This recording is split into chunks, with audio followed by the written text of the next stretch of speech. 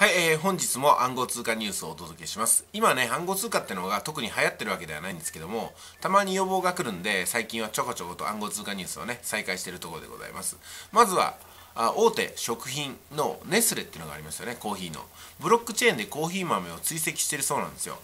だから暗号通貨というよりも、このブロックチェーンについてね、私たちはもうちょっと理解を深める必要があるんではないかなと思いますよね。で、次ですけども、仮想通貨のテゾスっていうのがあるんですよ。テゾスの共同創設者開発中のゲームはテゾスのブロックチェーンではない可能性を示唆しているということでございます。まあテゾテゾスっていうねちょっと耳慣れないちょっと言い慣れない、え 暗号通貨がプロジェクトがあるんですけどもこちらの方はね、まあ、ゲームを開発する中で、えー、暗号通貨を使っていこうかなってことなんですよね、まあ、こちらの方なんですけども現在開発中のテゾスのゲームはブロックチェーンではない可能性があるよということを言っていますね。うんなるほどねやっぱりブロックチェーンをねよく理解しないとそれが本当に暗号通貨を使っているのか使ってないのかもわからないってことなんでしょうかね。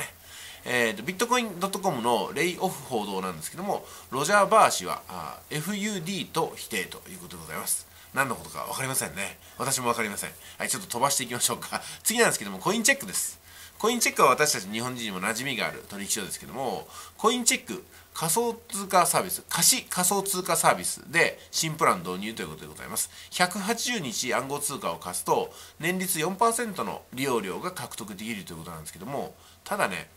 暗号通貨を借りたい人っているんですかね？どういうサービスなんですかね、これは。暗号通貨を貸し出すことによって、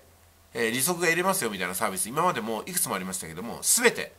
破綻もしくは最初からありえないインチキな話だったということでございます。今回のコインチェックのこの貸し出しサービス。注目が集まるんですけども借りたい人がいないと貸し出してもしょうがないですよね。この辺どうなっているのか注目です。次仮想通貨取引所。ビットメックスの運営企業サイバーセキュリティの非営利団体に4000万円を提供したということでございます。これからですね情報とか通信とか暗号通貨にもセキュリティをかけないといけないということなんですけどもでも考えてみてくださいよ。私はね何でもかんでも否定的に思う方ではないんですけども暗号通貨ってブロックチェーンっていう仕組みがあるから盗めないんですよね。だからセキュリティ万全なはずなんですよ。じゃあそこにさらにセキュリティをかける必要ってあるのかなと思っちゃうんですけどもこの辺はどうなんですかね？私の誤解してるところなんでしょうか？あと1件だけ言ってみましょうか。えっ、ー、とビットコインですね。うん。ビットコインがついに7000ドルを上抜けしたっていうニュースですよね。えー、株式市場のリスクオンが後押ししたということなんですけどもやっぱりね株式市場の信用が今ちょっと失われつつあるんですよ。その分暗号通貨に資金が流れ始めたのかな？っていうとこですよね。要するに市場ってお金を入れるところなんですけどもそのお金っていうのは抜かれたら逆にどっかに入ってるんですよね。そうじゃない時っていうのは個人的なお財布に入ってるということになってきます。でも投資家さんっていうのは個人的なお財布にお金を入れておくことを良しとしないんですよ。必ずどっか動きのある市場にお金を置いとくんですよね。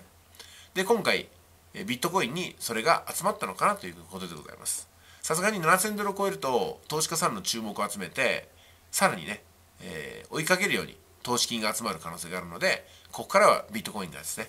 上昇していくんじゃないかなっていうふうに考えるのが私たち暗号通貨の専門家の考えですけども皆さんはどうお考えでしょうか。それでは本日のメッセージは以上です。